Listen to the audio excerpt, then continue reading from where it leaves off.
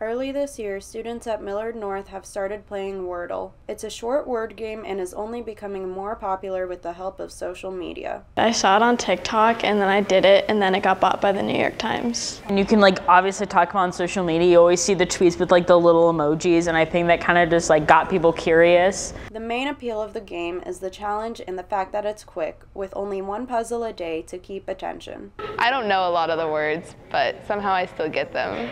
I just make up words words and then they're right. Um, I got it in two tries once.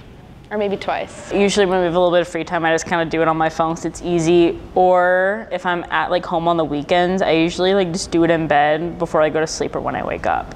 Um, today I got the word in two, but usually I get it in like four or five. Many players do agree that the game has gotten harder since the New York Times purchased it in late January. Players do still enjoy the game though, and many continue to play it daily. Yeah, I think the words are definitely getting harder since it got bought. They're like some of the words I've never even heard of. I just think that's how the game works is it's been going on for 200 days so you think as time goes on it gets harder but at the same time there's words in there that are like super easy to guess and so I kind of think it's just like you kind of throw hard ones in every once in a while to spice things up a little bit. With more people discovering Wordle every day, the game will remain popular for a very long time. This has been Lila Bribiesca for the Millard North Blue View.